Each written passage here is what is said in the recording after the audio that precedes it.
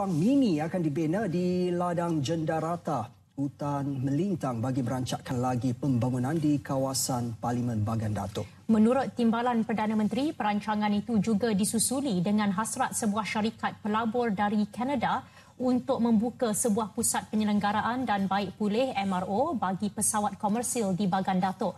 Syarikat terbabit turut berbincang untuk membawa tenaga mahir dalam bidang penerbangan ke Bagan Datuk.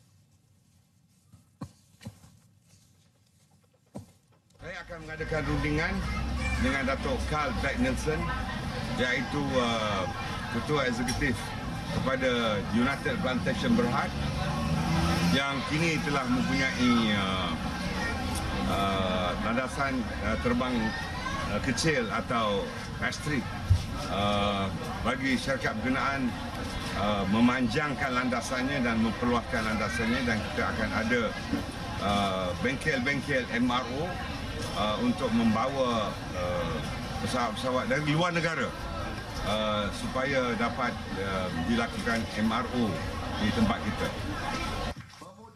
Beliau berkata sejumlah besar pelaburan terus luar negara FDI dijangka dilabur dalam projek terbabit. Dalam pada itu, sekiranya projek berkenaan dilaksana, rundingan akan dilakukan dengan pihak Politeknik Bagan Datuk bagi menyediakan kursus bersesuaian dengan bidang berkenaan bagi menampung permintaan tenaga kerja.